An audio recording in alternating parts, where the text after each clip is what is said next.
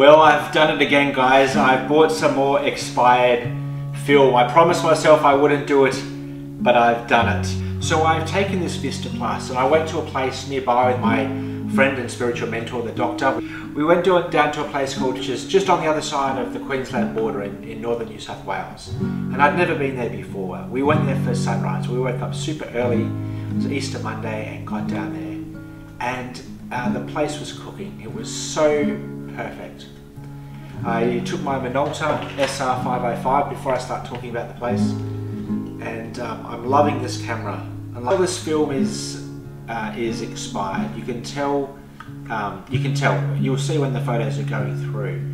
Uh, unlike the Ultra uh, Ultramax 400s that I've tried before that had been expired and, and had been expired for a long time, or some of the um, the slide film, uh, this is much better quality, and you can tell certainly with the more finer grain, you know, the 200 compared to the 400, uh, that that the film hasn't deteriorated as much. You'll see when the photos are going through, they're much less grainy.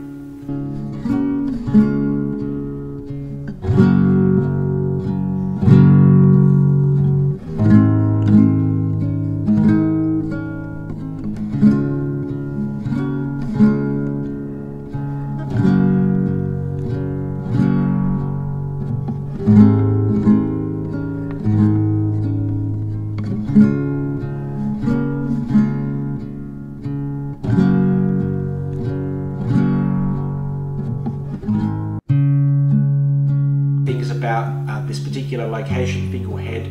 Um, the sunrise is obviously in the east. It was a golden sunrise and the sun was shining through the waves. You'll see in some of the pictures the, the gold streaming through the waves. It was just magnificent. So my, my faith in expired film, this little bad boy Vista 200 has been restored. I, I got the photos back and I, I've been really excited about sharing them with you guys actually. I've thrown a few up on my Insta. Uh, I've loved these photos. I've loved using this expired film and I've loved using that Minolta. Uh, it's really, for a camera that I bought originally to flip, it's been remarkably good. It's been fantastic.